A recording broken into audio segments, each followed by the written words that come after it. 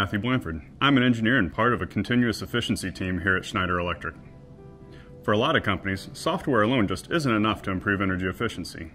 Smaller organizations have fewer people on staff to keep up with the ongoing monitoring and daily activity required to drive energy and cost savings. I'd like to take a minute today to talk about our remote analytics and optimization services. These give companies a team of experts to support their staff and monitor three key areas to really drive continuous efficiency. Utility management provides a clear picture of your resource usage. We track consumption and cost, develop a reduction strategy, and quantify savings. Facility management services monitor energy-intensive equipment and systems to diagnose potential issues and prioritize improvement opportunities.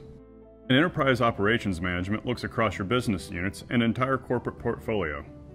We'll help you collaborate across departments to share project ideas and lessons learned. Schneider Electric can also help you modify processes and establish corporate governance to support your goals. Now let's take a few minutes to look at a few real-life examples. These case studies should help illustrate how we drive continuous efficiency. A global automotive supplier with 50 sites and an energy spend exceeding $35 million needed help creating a global energy efficiency program to drive meaningful results. The utility performance reports we generate for this client pull together utility bill, weather, and production data into a concise report easily pushed out to management teams and site efficiency personnel. Enterprise and site level views allow for quick consumption of the most important energy efficiency metrics. Looking at the raw monthly data, like many companies typically do, showed flat gas usage at this facility. However, reviewing the consumption in relation to weather and production told a different story. The drop in production did not correlate to the expected decrease in usage. The result was an increase in modeled gas consumption, a decrease in gas efficiency performance, and unnecessary gas costs. This surprising decrease in performance led to a deeper review of the monthly energy management survey, which found that this facility did not have thorough shutdown operating procedures. Since then, the client has reviewed their procedures to ensure that energy management is included in the decision-making process. In this next example, a national full-service restaurant chain with 200 locations was struggling to reduce energy costs despite having a lot of utility data. HVAC and refrigeration systems data allow for deeper analysis, but quickly become overwhelming to many clients.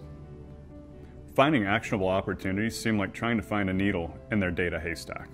The scorecards we developed for this client track system performance, site efficiency, and identifies opportunities for improvement. Frequently, our reports highlight areas that require improved control or maintenance. From the data, we provide our clients with not only a report identifying potential issue, but also a clear recommendation. In this case, comfort rose in the patron areas, but dropped greatly in the office and kitchen.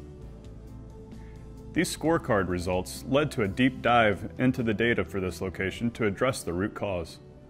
The data found that these two units were not producing cold air and required maintenance. Repairing these units generated significant savings, Controls allow energy experts to fine-tune systems remotely, such as managing set points and schedules. It also gives them the ability to lock out controls. Energy efficiency is not a one-time activity. It requires ongoing active management. This makes these managed services a valuable asset to many of our clients. Let Schneider Electric help you pursue continuous efficiency. Learn more about what Schneider Electric has to offer at se-efficiency.com.